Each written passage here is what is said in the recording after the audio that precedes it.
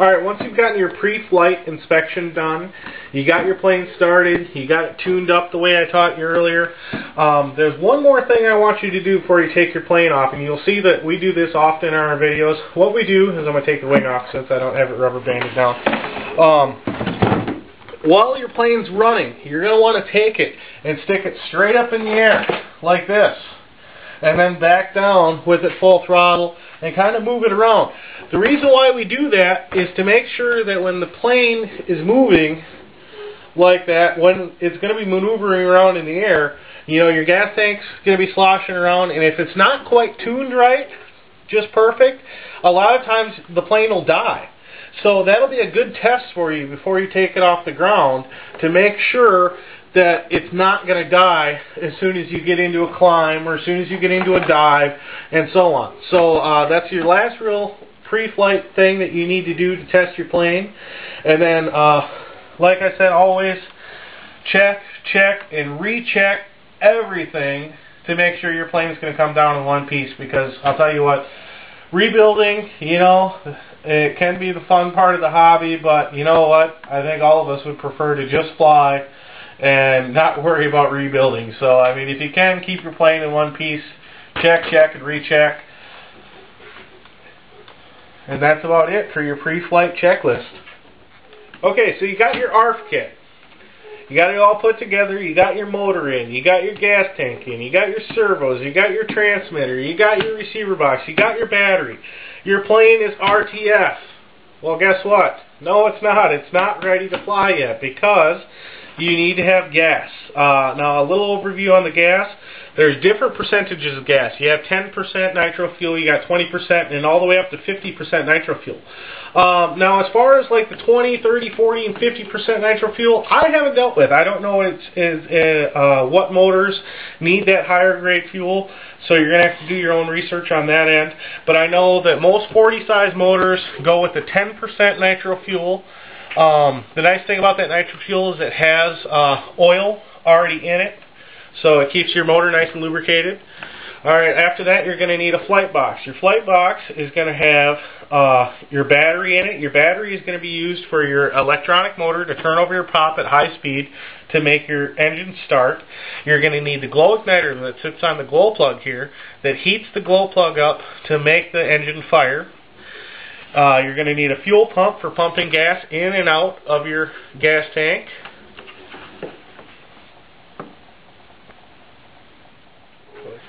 Also, it's that electric motor. That electric motor is powered by the battery, and the battery turns over the prop and uh, at high speed so your motor can start.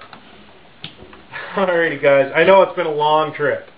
Uh, we've got a lot of information to process, a lot of stuff to go through, and if you're looking at buying one of these, it's about five, six hundred dollars to spend.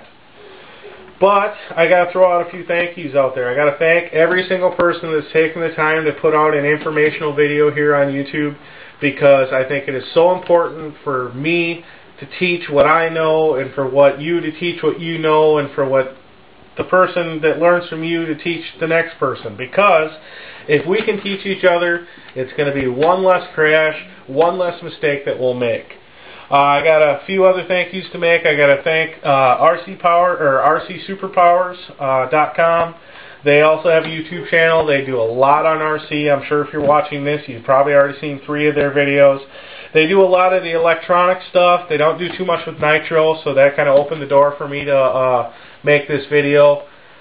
Um, but as far as the trainers go, if you ever get sick of the trainers and you want to move up to a 3D foamy airplane or a bigger 3D plane, watch those RC Superpowers videos because they tell you a lot about how to build your own stuff and they didn't really go in detail in the basics and that's where this whole video concept of mine came from.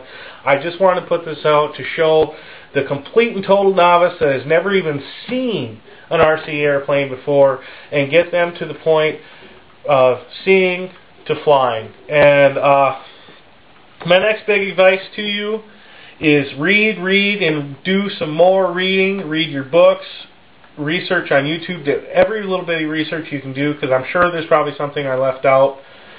Um, other than that, get yourself a flight simulator.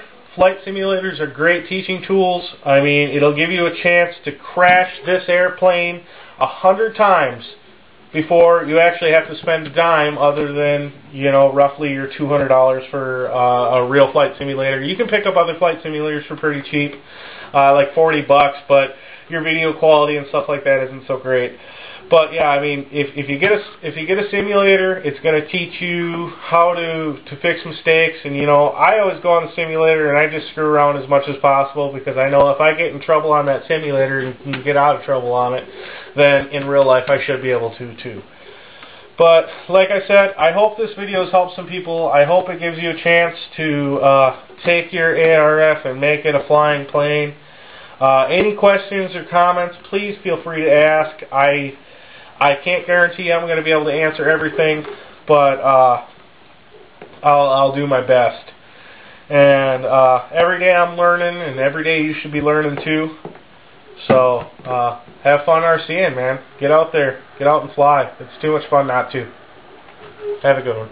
All right, the next thing is is uh, we're going to go over this more in detail in the pre-flight. Please, peep, peep, peep, peep, peep. Michelle, let's leave that in there. Alrighty, YouTube, you're looking at my buddy Matt. This guy was the cameraman for this entire video. This bullshit long fucking process. And it's cold as well. Um, and it's cold out here, so he's been shivering the whole time. But this boy here, uh, either on my YouTube channel or another YouTube channel, has got a shit ton of his own original beautiful music, and we're going to have that online here pretty soon. Okay, thanks, YouTube. And, uh, hopefully you guys will like his shit, and I'll have a little linky link off to the side for that or whatever. Um, so check out his shit for me too. We'll have that on there here in a couple of weeks, hopefully. Get a flight sim. Get a flight sim. Are you kidding me? It's finally over? I didn't think that guy would ever shut the fuck up. Jesus, man. Oh, it's gonna be funny. oh.